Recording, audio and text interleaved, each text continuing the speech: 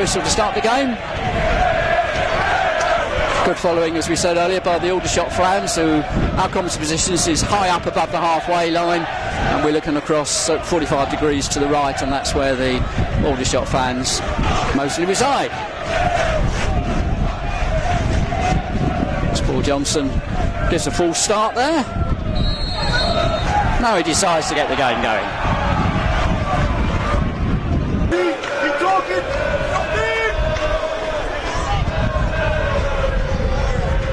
Crowd of players all in the same area. You can see Casey Pettit there amongst them.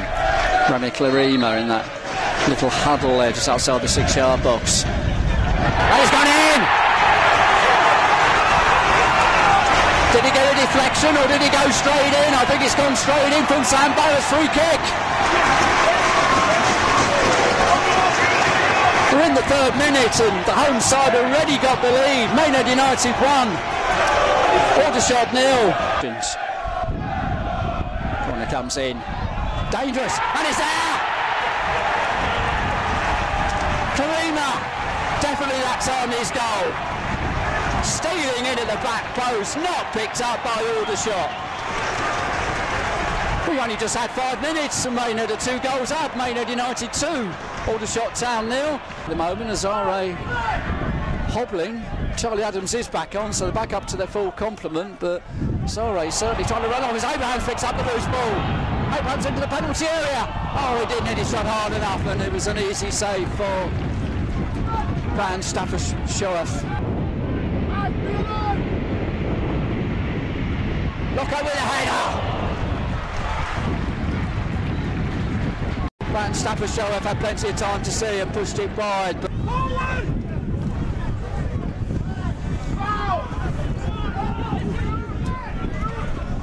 Oh, look how close down. Gandor. There's the post. Cleared off the line, I think. I think it might have been. It was Daly with the shot, and uh, I think it might have been Azare there who cleared the ball off the line. I was trying to find Abrahams who missed him, and uh, chance for Stokes to clear the ball. Not quite sure. cover. Sorry, Michael. Not quite sure what Barrett was doing there. I think he got hit that one first time. He's He got sort of stuck under his feet a bit, I think, and then he found himself with the back to goal and obviously wanted to try and tee someone up. Azare, not a good touch. Stokes. Gandor with the shot. Got Baklarima back for, uh, I think, Aldershot's first corner, looking at my notes.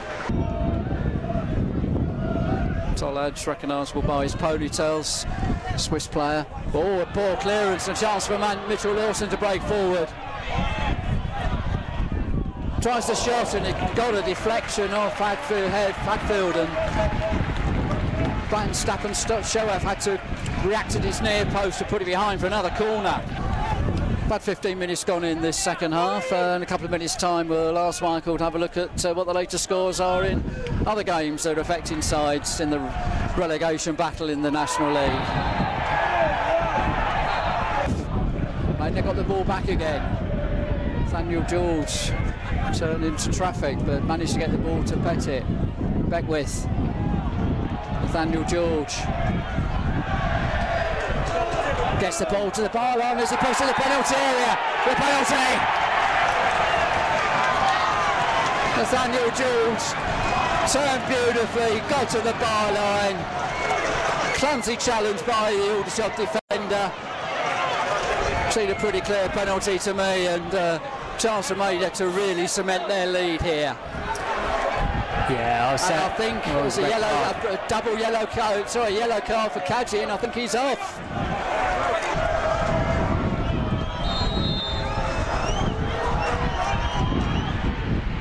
And he's just got it in.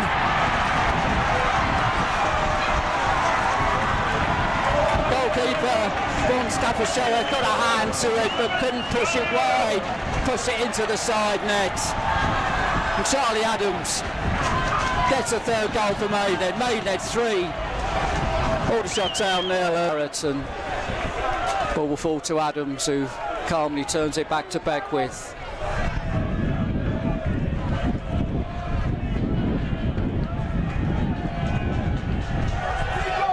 Abrahams. And he's got another penalty. As he tried to turn Harris. He got clipped, and referee Johnson decided that was inside the penalty area. And Maidenhead have got another penalty. Slightly cheaper one than the one before. In other words, I thought the one before was more clear cut, Michael, but uh, well, Another another sending off. Let's watch this penalty by Charlie Adams.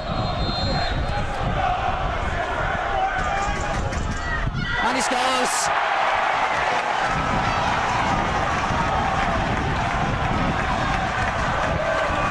Maidenhead four. Aldershot Town nil.